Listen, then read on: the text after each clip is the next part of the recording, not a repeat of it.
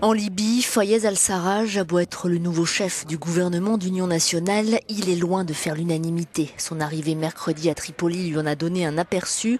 Les autorités non reconnues siégeant dans la capitale libyenne l'ont sommé de partir, jugeant son gouvernement illégal.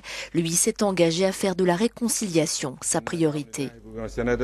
Avec l'aide de Dieu et le soutien de tous, nous allons travailler pour créer un État avec des institutions et des lois, dit-il, pour obtenir un cessez-le-feu, la fin du bain de sang et pour affronter les dangers du groupe État islamique.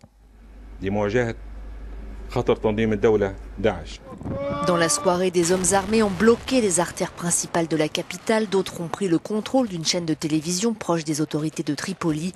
Ce gouvernement d'union parrainé par l'ONU a été mis en place par des députés des deux parlements rivaux, et ce, malgré l'opposition des chefs de ces institutions.